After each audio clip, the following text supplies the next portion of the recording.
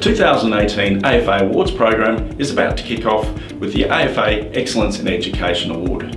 We believe the AFA Awards program is the most robust and stringent in the marketplace, and excellence in education is no exception. With professional standards and education development hot topics at the moment, this is a great opportunity to showcase you at the forefront of education professional excellence. Share with your peers. It's a great opportunity for others to learn from you and you guide them through the process. Of course, the rest of the AFA Award program will commence shortly. Nominations for Excellence in Education open on the 18th of April and close on the 15th of June. Nominate yourself and make a difference now.